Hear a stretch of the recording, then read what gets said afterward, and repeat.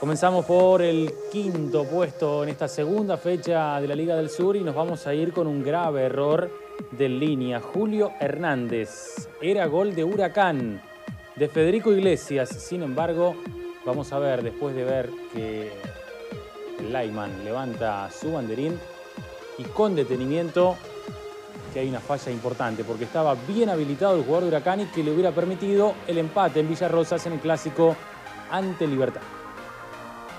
Cuarto puesto. Dejó todo por evitar el empate de San Francisco. Gran atajada del arquero de tiro Pablo Smith ante un pelotazo lejano de Ángel Martínez que tenía destino de red, pero muy bien por el 1 Aurivioleta. En el podio, tercer puesto, ¿qué pasó en la tribuna visitante de la cancha de Bellavista con los hinchas de San Sinén? Algunos problemas fuera del estadio hicieron que se viera mucho movimiento en el sector.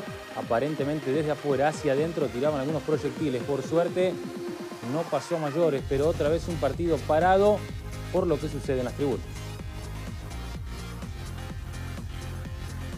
Puesto número 2. ¿Y cómo explicar lo que erró Nahuel Caballero de San Francisco, que no ligó ante tiro y con estas situaciones imposible e inentendible poder explicar por qué con el arco a su merced la haya tirado por arco?